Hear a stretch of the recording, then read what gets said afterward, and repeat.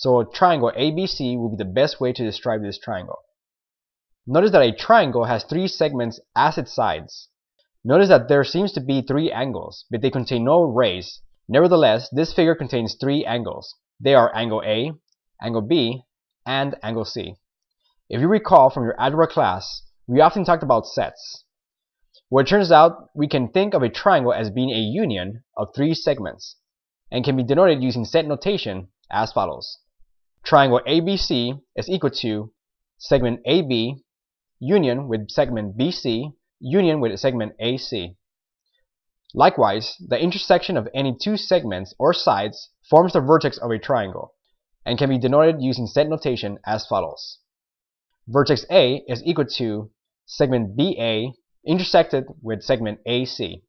Vertex B is equal to segment AB intersected with segment BC.